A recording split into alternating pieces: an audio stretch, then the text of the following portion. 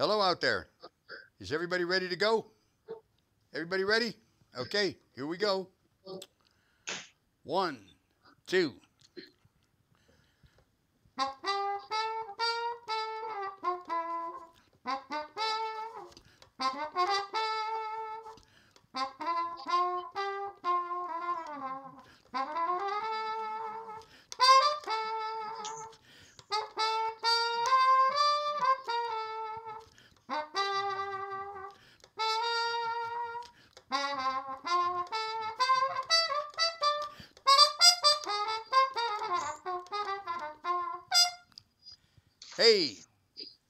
Morning, everybody.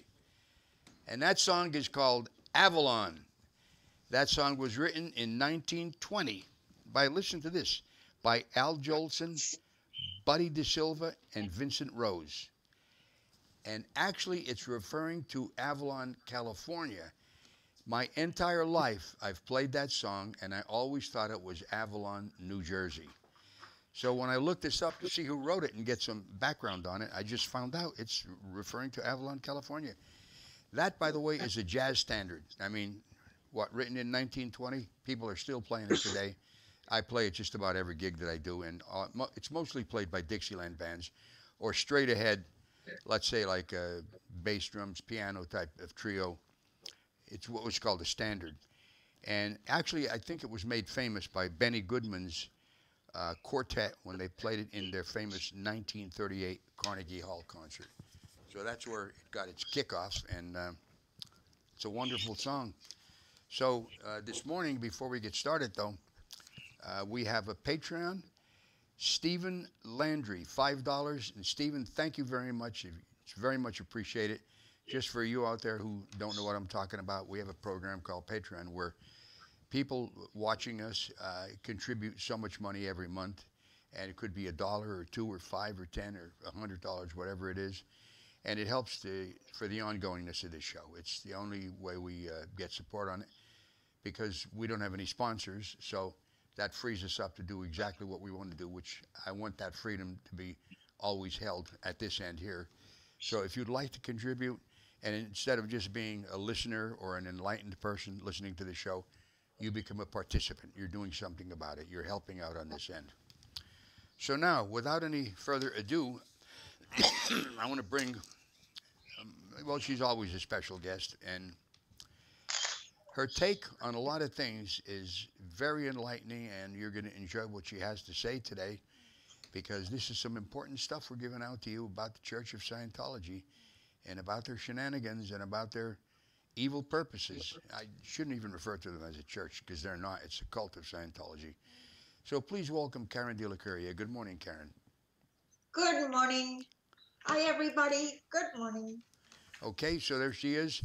And I got some notes that I'll I'll be referring to occasionally. And we're going to start off with, you know, David Miscavige is blamed for a lot of things originating with him, a lot of bad stuff, like beating on people and stuff like that.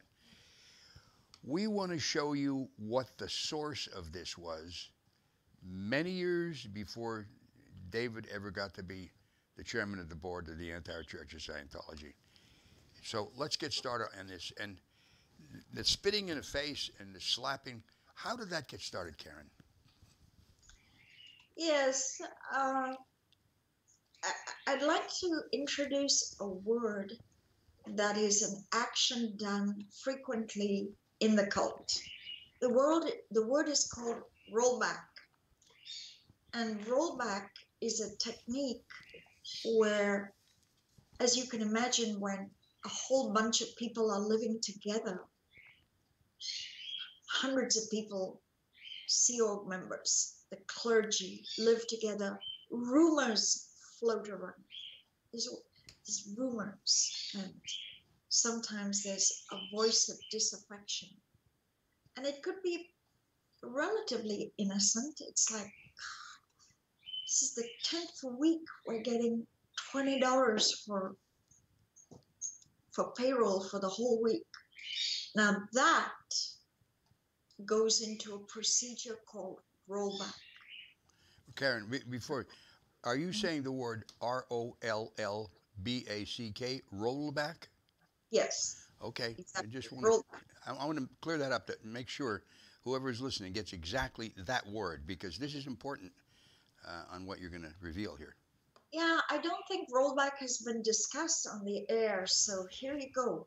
Yeah. So what happens is because it's a snitching culture where everybody rats out everybody else to look good, everybody reports to the hierarchy. So if somebody hears some disaffection, something negative, it's somebody will tattletale and write it to ethics, to the master at arms, ripping off naval titles, rip it off to the ethics section, which is the division that has the power to punish you for you to become more ethical. Once this arrives in ethics, it becomes, it travels along a conveyor belt to do rollback. So the person who said this bad thing, hey, we're not getting paid. This is the 10th week we've had almost little to no pay. That person is hauled in, they sit down, and the question is, where did you hear this? Who told you this? And then that person says, well, da, da, da, then the next, then it goes down a chain to find the who. And the who is the last, the first person that said it. And that person can't remember hearing it from an earlier person. This is called roll back. Right. So they're rolling back to who started this bad thing. They're trying to find out if it was just spread on the grapevine. If it was just spread on the grapevine, well, who is the who? hmm Then the who would be the target of the disciplinary action. Or the the source of the entire thing. the that right? source. Yeah. The source, the original creator of that. So in this particular session today, we were using a little we're going to be using a little bit of rollback. Good. It was known at Int Base that people were spitting on each other.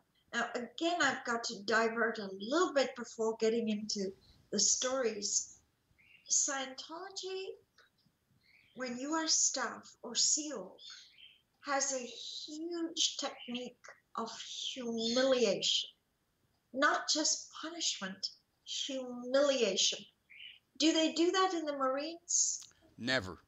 In the Marines, if you do something that's not ethical or keeping up with the standards, you'll receive a punishment, and it could be, uh, you know, being restricted to the barracks, or, oh, I, you know, I, offhand, I, I can't think of anything. Maybe doing some digging a ditch or something like that, but you don't get humiliated with that. And once you, that punishment is meted out, and it, you they see that you you turned a good leaf, you've come to your senses, so to speak, saying, "Eh, you know, I'm not going to do that stuff anymore. That's the end of it. That's the end of it. But usually, guys who get into stuff like that, what they call troublemakers, are the guys you want on your side if you go to war because they're they're the ones who's likely to be active, whereas the person who every everything he does is perfect. You know, he never says wrong words. His pants are always pressed, and you know, the, the, the goody two shoes guy, you don't want him in, in, when the shit hits the fan. But anyway, answer to your question, the short answer is no. The humiliation is not added to the punishment in the Marine Well, Corps. In the last 30 years, and worse in the last 20 years, and way worse in the last 10, it just gets worse and worse. Humiliation is incorporated into any punishment. You're right. for example, if you're supposed to go clean a toilet, you're forced to go clean a toilet with a toothbrush. Yeah. And this cleaning with a toothbrush, um, for example, instead of just digging to do some construction work, you'll be t- forced to go clean out a dumpster with a toothbrush. Yep. Imagine the size of a dumpster and imagine that you've got to get it spotlessly clean by cleaning it with a toothbrush. You heard of those dumpster punishments and toilet? Of course I have. Of course I have. Yeah. And just imagine the state of mind who of a person who would go along with that. Because if you can get a person to do that, man, I'll tell you, he's under your spell. He's done from there on out until he looks at himself in the mirror someday and says, "What the fuck am I doing here?" You know. Anyway, go on, Karen. The whole thing is to sort of crush, collapse your world, Yeah. make shrink you down into. This is what happened to me at Int Base. And this could be a large part of why I still speak out. Oh my. They I was crushed, pulverized. Yeah. I did not have command. I did not have space. I was shrunk down way below the size of a pea. I don't think I I I just didn't have any space. I was so introverted and interiorized. And this went on month after month after month after month. Yeah. So the whole idea was to so the whole idea of punishment in the cult is to shrink you down in size and space You're to immobilize you and make you unable to even function. Some people would just be dysfunctional. So we were we are going to use the rollback, which we explain very carefully. Mhm. And I want to tell you, I'm going to start off with a little story. There was a beautiful girl on the ship called Jill Goodman, just a real beauty training to be a messenger and then she got through all the training now in the 1970s of course that was way way before internet the way hubbard ran his day is he would have messengers run all over the ship to deliver a message from him and then the messenger would run back all the flights of stairs of the ship and give the answer back to hubbard that's why the word messenger, because they were running message. They did other work, but they were running messages I primarily. Yeah. So Hubbard sent a message to his glamorous, beautiful, long, red-headed daughter, Diana. Her office was only 30 feet away from his research room, which was his office. But and this beautiful messenger, Jill, relayed the message. And then Diana said something that Hubbard did not like.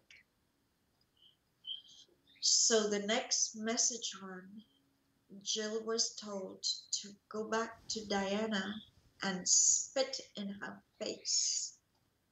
Get this now. This is the founder of a religion writing reams of things that look good affinity, reality, communication. You don't cause a break in it by enforcing reality. And he sends this cute, this little cutie, Jill Goodman, to go spit in his daughter's face, which he did. But bad luck for her, Hubbard's wife at the time, Mary Sue Hubbard, was behind Jill when Jill spat in the face of Diana. And she just slapped Jill back and forth, back and forth, took off her shoes, Mary Sue Hubbard, the head of the Guardian's office, and hurled the shoes at Jill. and all of this you can read this is this is documented in the book commodore messenger Right. riding out the storm i think it's page 338 the whole story if you want it but the reason i bring Now, oh, this wait, wait a up- minute. I should bring this out. That, that Janis Grady, who wrote that, was Yeah. an, a messenger for what, six years or eleven years? she was for 11 years at the side of hubbard six hours a day So you got firsthand reports here. Right. Okay. This is not just some uh, fairy tale. This is this was This is history. Okay. The reason we're talking about it is Hubbard, he was always running the show. The- These these fake, false things that he had resigned. He said on video, "I've resigned. I'm only the writer of the text." No, he ran it all. And while running it all, he would send down orders even when he was in hiding. Other than the last year when his dementia really increased and he was just not not not making sense, pursuing the BT, pursuing attached spirits and wanting a suicide machine built to when he lost it, but right he was gone six years and he truly was running the show.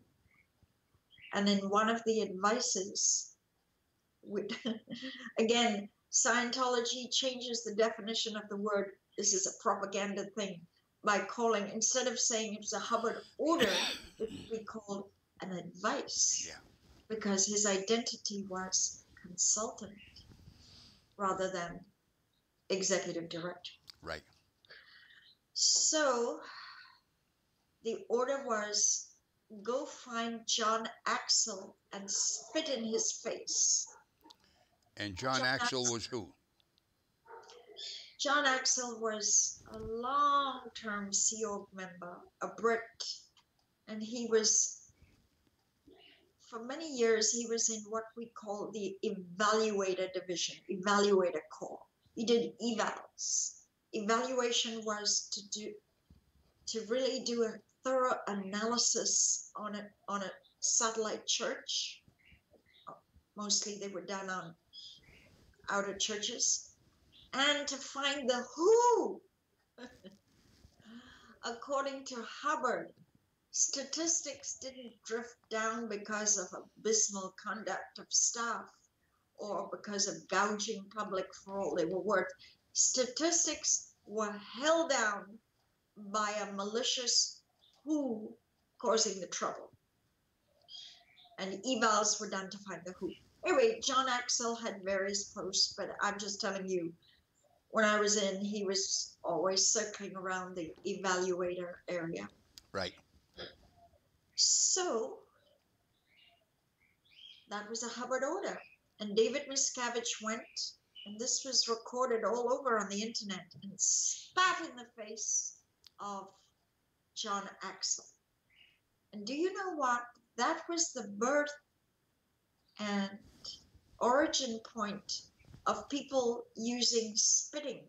Others spat on others. People spat on others. Miscavige spat on Marc Yager numerous times. This was a spitting, it became a spitting culture, which goes back to our earlier opening of humiliation.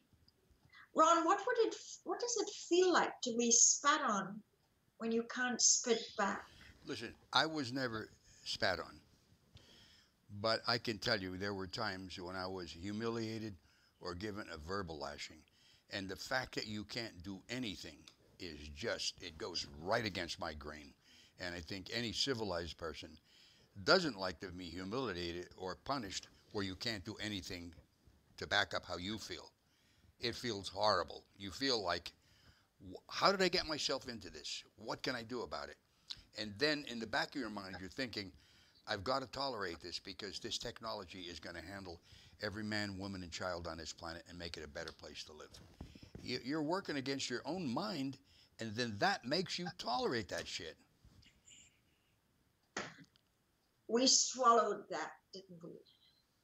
Yeah. Scientology was going to save the planet. Yep.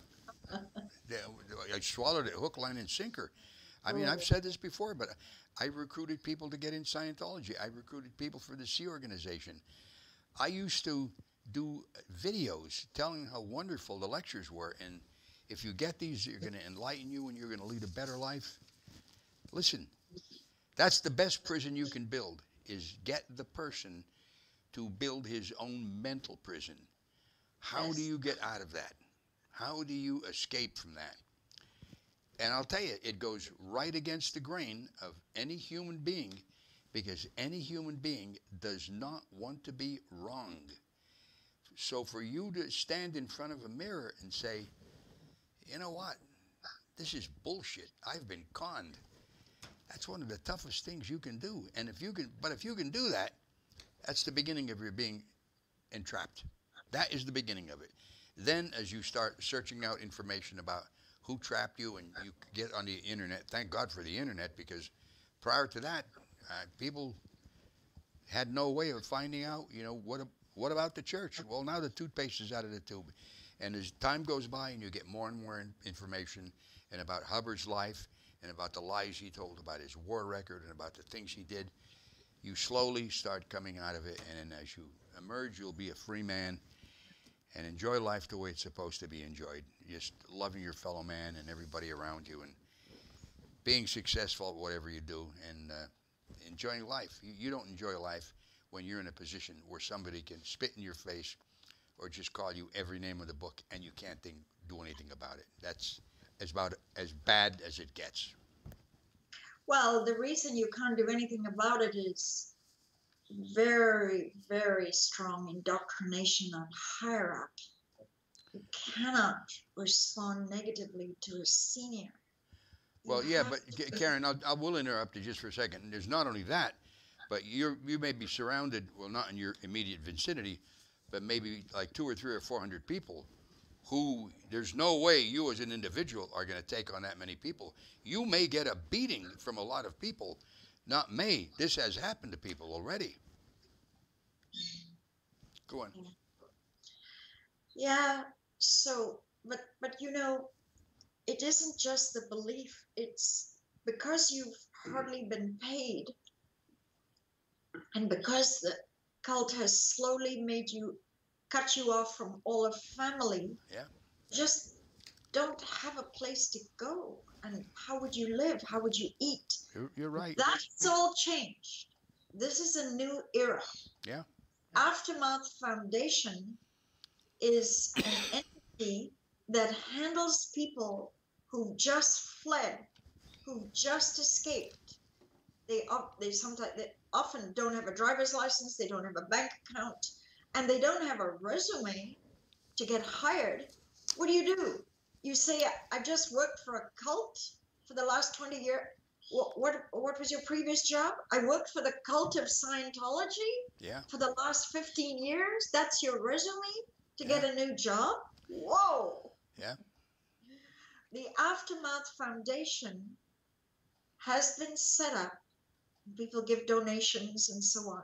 So escapees or if someone has someone in and they need them to get a soft landing the aftermath foundation is something you and i never had whoa Yeah. in our day we fled sink or swim That's right. so i so i'm really uh, i really support the aftermath foundation Oh, I do too. And the, these, you know, Leah and Mike and you know, Yeah. Mark and Aaron, the people who run it, they're they're wonderful people. I, I'll tell you, that's that's true charity. That's real what you call benefiting your fellow man.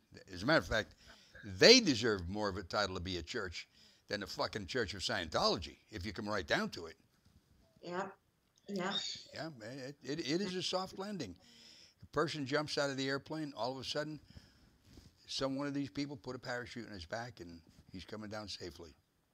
It's actually wonderful. It really is. So, so now, if anybody flees, all they have to do is get to a library, Google Aftermath Foundation, and boom, their life can they can be. They, there are resources in every city in the United States. There- are resources internationally. If they're fleeing the church in Denmark, Saint Hill, England, whatever. Anyway, so so we, the spitting the spitting we bring up because it's a type of humiliation Yes. and when you are pulverized and clobbered where you just shrink into the size of a dot you don't have oomph to fight back or be you just you you collapse. Yeah. Spir- you mentally and spiritually collapse. So one of hubbard's fatal flaws was to crush you in punishment. That that horrible horrible essay he wrote in the green volumes uh, use to use discipline to up the discipline to make it too gruesome to make punishment so gruesome that people would live in terror that they might get punished. That so of it became it became became a dangerous environment. Yep. you never knew what horrific punishment you would end up later that day maybe march to the rpf whatever so we're rolling back the humiliation. David miscavige gets a lot of bad publicity for his cruelty but actually hubbard was the source of spitting. Yep. now was hubbard the source of violence? Absolutely he was. Um, there was a messenger called Trudy that there are some nice. Ooh, I wish I had the pictures up. Hubbard gave her away as a bride on the same day he gave Terry, Terry, uh, Terry Jer- married Gerry Armstrong. Terry and Jerry, and Trudy married Pat Broeker. Pat, the guy who lived with Hubbard the last six years of his life, Pat Broeker yeah. and Trudy and Pat got married on the same day. Uh, Trudy was slapped so violently by Hubbard that she was hurled across the room. And this was a girl. And this was an un- a teenager, 18 or 19 years old. And again, what is the source of this? look around page 340 this is a book which if if you're a scientology watcher and you want to know the earlier history read the book. You can even buy it on kindle. Commodore messenger riding out the storm Right. so i mean hubbard punched otto roos hubbard punched belkazan furge. Let no one think that hubbard could keep his cool. He could not. He wrote all these texts for Scientology, but when he went into a temper tantrum, he was out of control. He was not in control. You know, I've heard that from numerous people, and thing I heard from that's, that says it all right there. But you're right; he was the source on all this, and that's no excuse for David doing it. But David was not the source of the spitting and the punching. That started with the founder of Scientology himself, L. Ron Hubbard. Yeah, yeah. It got replicated and copied, and then it came down the command chain. Yep. Then people were slapping each other. There's a guy who's been extorting money. I don't know if he's still alive, called Dave Foster, the husband of Harriet Foster, at the Flag Land Base. Dave Foster has been a sales agent, a registrar for 30, 40 years. Yeah. And one day a public was not coughing up the money he wanted, and he violently slapped her face in the registrar office. Mia Pia Cardini, uh, an Italian woman who subsequently she's she's died now, but she wrote she wrote the book on it, and this was like, wow, this slapping and her, it's assault and battery. I don't believe one single person has ever reported to Clearwater PD the internal punching and slapping that occurs Yeah. at flag. I'm sure you're right. I'm sure you're right. You don't dare do it. It's just too much up against you're wanting to make things go right in that direction. It just you have to confront too much, and in the state of mind you're in, you don't want to even do it.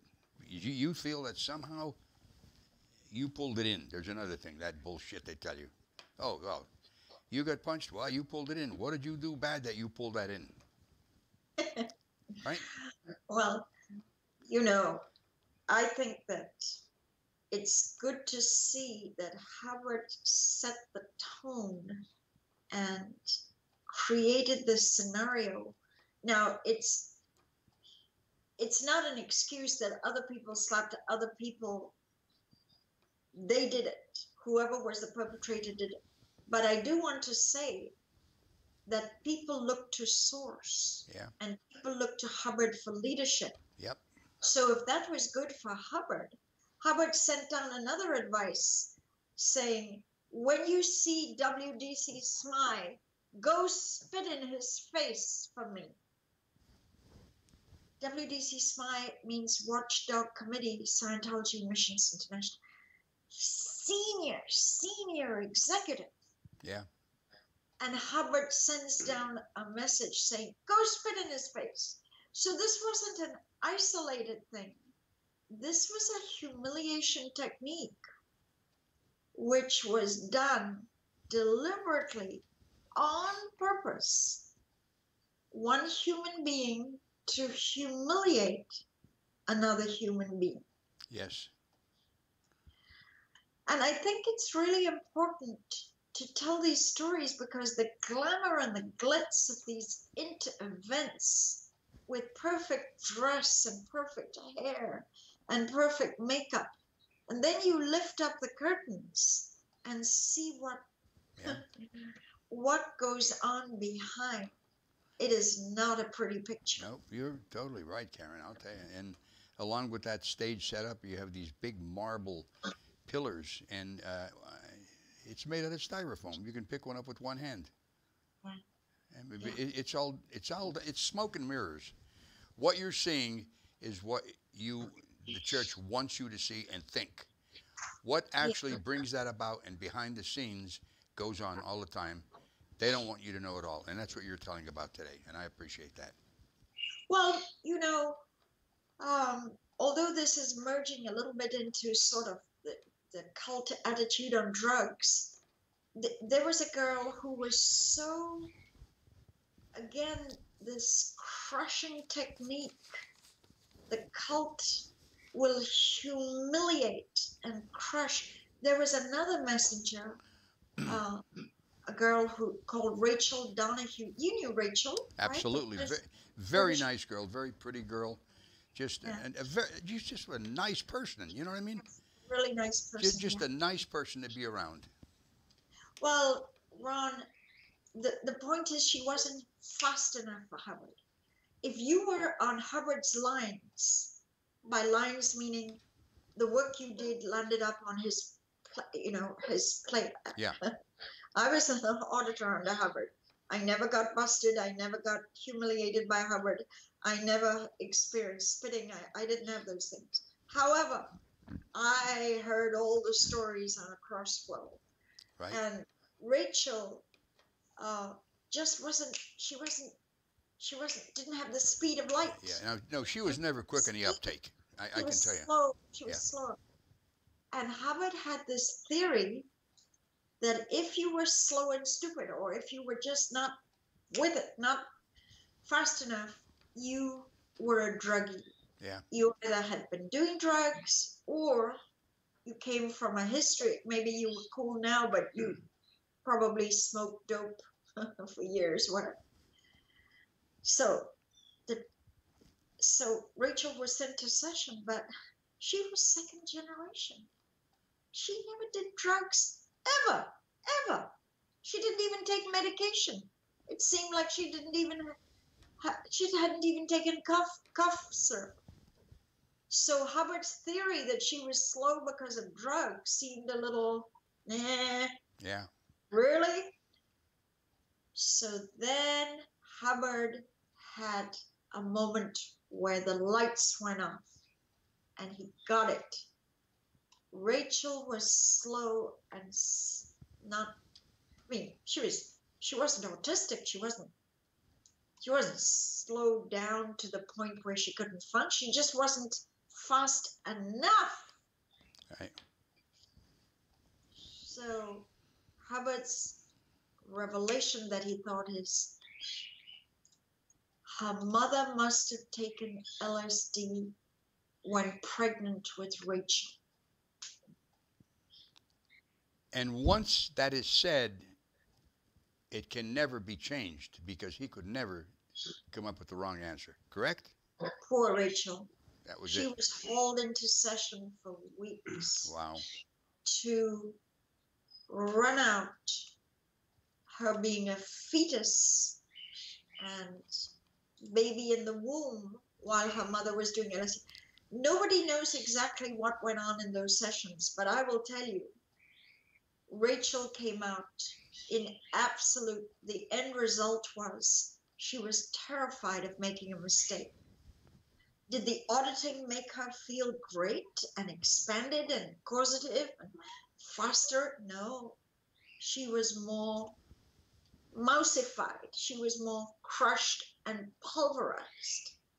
Imagine, Ron, can you imagine if Hubbard said, you know, you're not a, you you're not quite a crackerjack musician because when you were in the womb your mother took LSD. What a judgment. Well, I'll tell you what I would have had to do.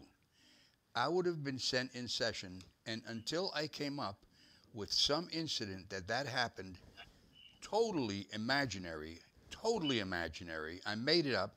If I hadn't come up with that, I would be in session for the rest of my normal life trying to come up with an actual uh, incident that caused it.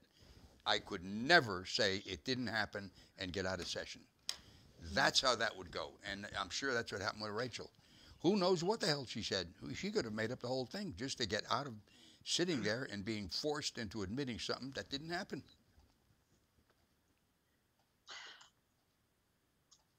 Anyway, um, th- this thing on drugs as being the drugs, the, the, there's an absolute fixed idea which comes from Hubbard.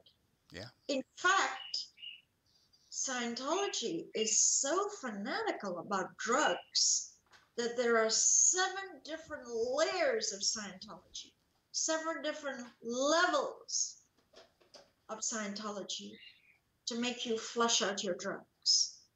You're, you, you might walk into the cult desperately needing to handle an issue with your child or with your spouse or with a business partner, whatever, but you must robotically go sit in a sauna and spread out five hours a day and take massive vitamins. That's just like one size fits all. Yeah.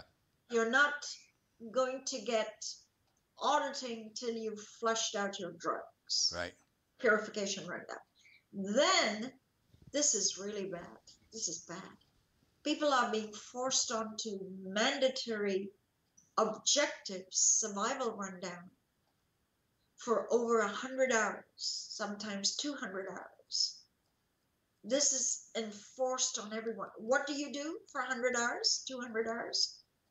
You're given a command to walk over to a wall, touch a wall, pick up a bottle. What is its weight? Pick up a pick up a book, walk to the other wall, and robotically repeat this over and over, hour after hour. Maybe even 200 hours. Yeah. I know people who've been doing this for two years on weekends. Wow. Two years. That's and un- they keep doing it because they've been shown some paper saying that if they keep doing this, they're going to move out of their body and get remote viewing. So they keep hoping and they keep doing this. Well, as you know, I was a case supervisor on all this technical stuff, and I CS hundreds of hours of this book and bottle walk over to the wall.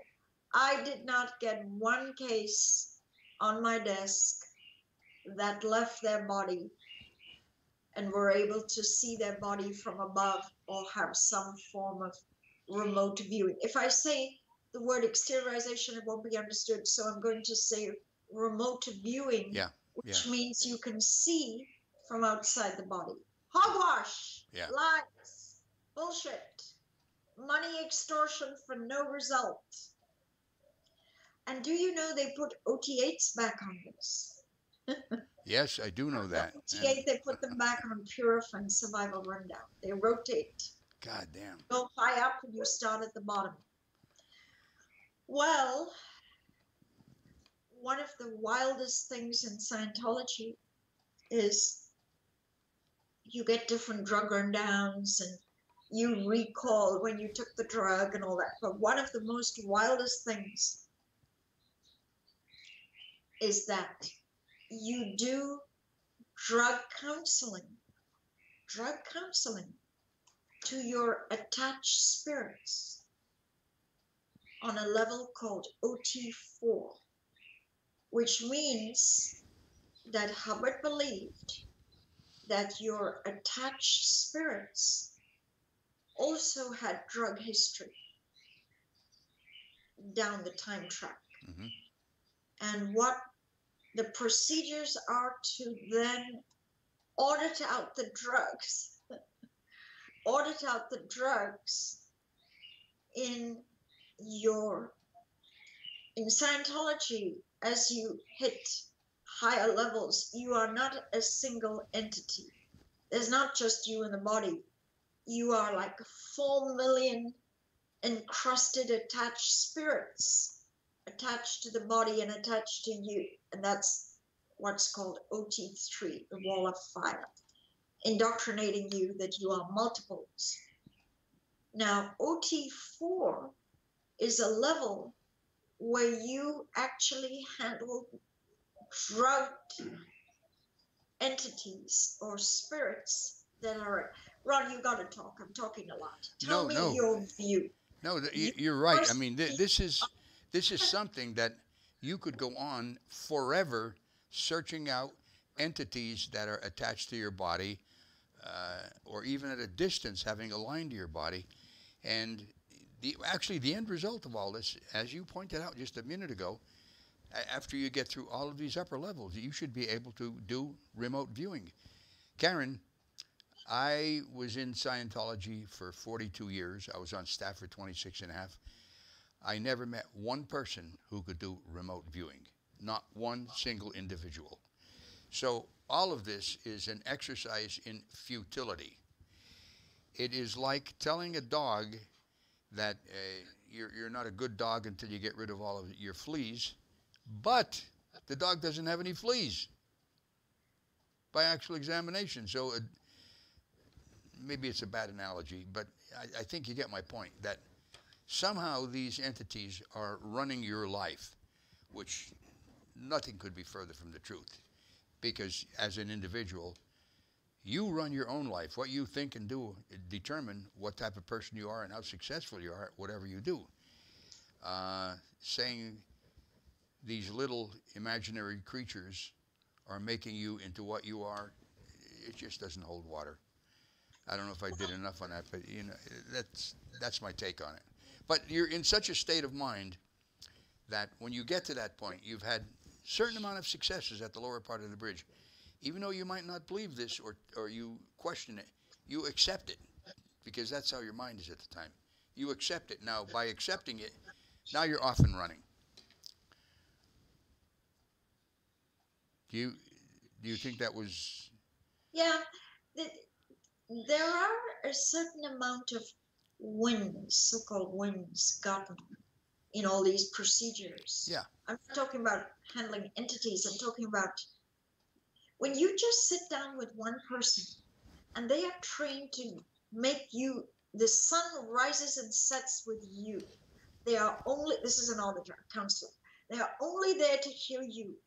And you cathartically unburden your soul. Yeah. You get off what you need to. You can you can feel better. You- You, can have wins. not you can, you absolutely do feel do. better. you do. You're And, right. and people think, wow, that, that was cool. And they get they they want that. They want one person listening to their deepest secrets or things that bother them and stuff. So I don't want. So the the hooks and the bait is these wins Yeah. are completely transitory. They come and go. Yep. They are not stable, and certainly people who have done uh, 3Ls and OT8 and all the high, they've done everything the cult has asked them to. And then what? They, they, some have had mental breakdowns. They've gotten alcoholic. They've beaten up their wives. They're in bankruptcy, and more importantly, they do huge financial fraud. It's almost like every six months or every year there's some huge, huge. Right now, it's David Gentile, uh, a guy who had two children in the Sea Organization and bought some nice property and lived in Clearwater. And he has had $700 million vanish into thin air on his funds. So, uh, by the way, he's been kicked off. Um, uh, uh, well, what they normally do is completely distance themselves as soon as someone is up to shenanigans. The thing is, oh, they they they did they haven't done Scientology for a while. They they were out of parameter, whatever. So anyway, what I'm trying to say is people who do it all, whether they're dentists or like that infamous New York, they later on it's found out that they were ripping off Medi-Cal, ripping off Medicaid. This, this, these are people who have done all this high spiritual work. Yeah. OT8 is the pinnacle of how far you can go. So, auditing out all their drugged BTs, their drugged entities, and attesting OT4 does not make them one inch iota more ethical Nope. or more sane because there's history case after history case of Scientology criminals. Yep. Criminals, absolute criminal activity. But then you look at what did they do? The church was supposed to make them more ethical. Ethical? so the tech is flawed, absolutely flawed. Mhm. I couldn't agree with you more. It is uh, smoke and mirrors. It's like the Wizard of Oz turned out to be a guy behind the curtain pulling levers and smoke coming out of stuff and a big picture of somebody else. And uh, this is what the Church of Scientology is. And this idea of getting rid of entities that are fastened to your body is going to make you powerful and make you into something that you never will be. It's just a fake story. It's simple. Oh, the, the biggest misconception is you get rid of all of these and you're going to become ethical. Well, people have run their entities for 20 years and they are not one iota more ethical. None. None Exactly. of them. And, so, and, so yeah. and how about LSD? That is the big no-no of all. Yeah. Oh, who who was an LSD case? well, A famous person who did something that only he Ray could do. Mithoff, Ray Mithoff was the most senior, senior of all of technology. In fact, he was so trusted and so competent that he was sent to audit the dying L. Ron Hubbard. Is as the most senior tech terminal, and he was an LSD case. He had taken LSD. So they don't allow anyone who's ever taken LSD to join the Sea Org. What a what an escape hatch. I want to congratulate everyone in the world. You won't be eligible to be drawn into that rat's nest. Your LSD was one of the biggest blessings that you I, I know, actually, you, you, you're making a point that actually happens to be true. And uh, if you had not taken it, you might be in a very bad position today, or maybe like Karen, who's a very successful entrepreneur, a successful art dealer, uh, and other people like Marc Headley, who got out and he does things audio visual wise that he's probably the top guy in that business. Um, yet they went through this kind of a holocaust. I don't know if we could call it that, but it, it was uh, it was an exercise in like I, I wouldn't want to do it again. Let's put it that way. Well, Ron, there are a lot of survivors. Yep. But to survive and lead a good, healthy life, a happy life, Yeah. you know, the, the escapee, there are a lot of, there's a lot of happiness Oh, and yeah. a lot of camaraderie and a lot of joy and, and, uh, but it's not when you are in the Sea Org. Nope. That is the, you know, that's the nightmare part of the life. But once you escape all of Scientology, um, life is good. Yeah. Life is good. It really is, and this is uh, there's a special bond that you have with other people who have done the same thing. It's just like uh, people who were were not war, who served in the Marine Corps. There's a brotherhood there. Yes. There's an actual brotherhood there. You say Semper Fi, and another Marine, you know, whether he's a brand new recruit out of boot camp or somebody in for 20 years or somebody who's 80 years, it doesn't matter. You'll always be a Marine.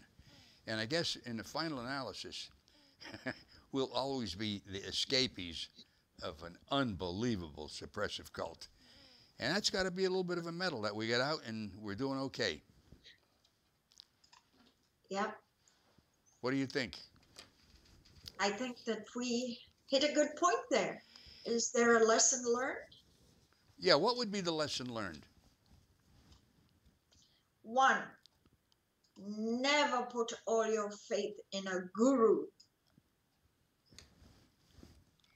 That Don't do that. that that is a point and a half.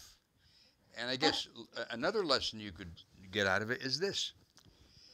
If you watch shows like this, you know, interview shows that I do, or other people who do them, you will learn from other people's mistakes who then corrected them and got out. But why make the mistake when you hear other people saying what it cost them in terms of their life and livingness? And thank God, those who got out are, I guess, all successful. But you can learn from that, from watching these shows, and learn the modus operandi that they use, which is hooking you in with some very nice things to begin with, and then based on those hooks in you, feed you stuff that now you accept to be true. I may have gone a little long-winded on that, but I think when you said don't ever believe in a guru, I mean we could we could end it with that. And I want to give a final plug for the Aftermath Foundation. I don't mind you if you do that. That's wonderful. Anybody, anybody who knows anybody who's just escaped or trying to escape or whatever, there is a wonderful golden parachute soft landing where a whole foundation will get this person stabilized, a job, uh, everything that they need to start a new life. You are no longer in fear that if you escape, you are on your own.